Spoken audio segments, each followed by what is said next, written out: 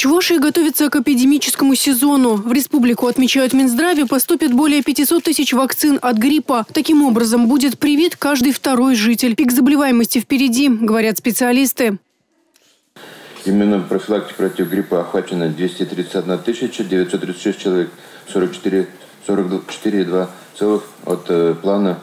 Особую актуальность период приобретает корпоративная вакцинация, которая э, обезопасит работающее население от гриппа и тяжелых осложнений. Для иммунизации населения применяется вакцина, содержащая актуальность штамма вируса гриппа, рекомендована Всемирной организацией здравоохранения. Сегодня нет пациентов, которые заболели гриппом. А, есть э, э, заболевание ОРВИ, 5242 человека сегодня на учете.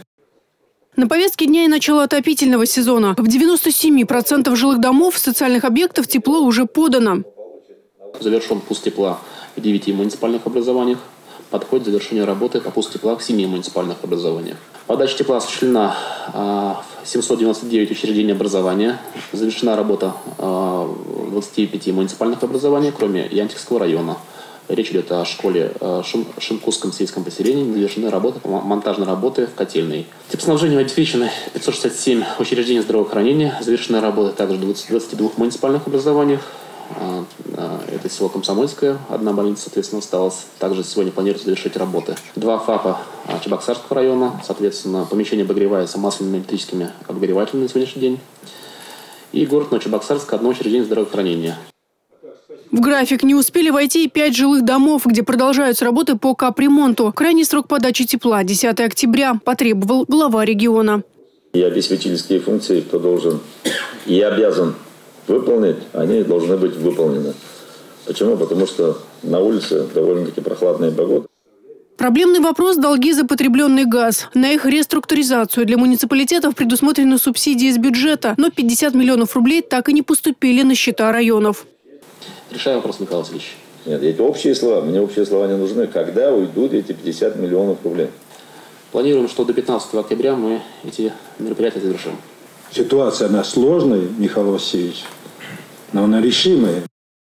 Поставщики голубого топлива приводят черный список муниципалитетов. Если в Козловке сумма долга снизилась на 8 миллионов рублей, то в Шумерле увеличилась на 30. Власти города до сих пор не утвердили тарифы. В правительстве проблему взяли на контроль.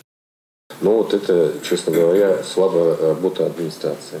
Надеялись они, что конкурс не возьмет, надеялись, что у нас ГУП э, Чувашгаз заберет, хотя четко было сказано, что это ваша зона ответственности, вы должны определить балансодержателя. Еще одна тема – формирование бюджета на последующие три года. Немалую сумму предусмотрят на строительство школ и детских садов. Цели разношения помещений пищеблоков детских садов качественным и удовлетворяющим санитарным нормам по оборудованию в бюджете закладываем более 116 миллионов рублей. Более 200 миллионов рублей предусмотрено на строительство регионального центра по хоккею. Это при Чувашском кадетском корпусе. Продолжим также строительство фельдшерско-акушерских пунктов. На это предусматривается более чем 113 миллионов рублей. В проекте бюджета на трехлетний период мы предусмотрели полное выполнение всех социальных обязательств. Это наш приоритет. Обсуждая итоги выездного совещания Комитета Госдумы по экологии, Михаил Игнатьев призвал не политизировать тему новых тарифов за вывоз мусора. Странно, когда заместитель председателя Комитета Госсовета по экономической политике Игорь Маляков утверждает, что стоимость услуги повысится в 8 раз, реальный рост не превысит 5%, и кому, как не народным избранникам, это хорошо известно.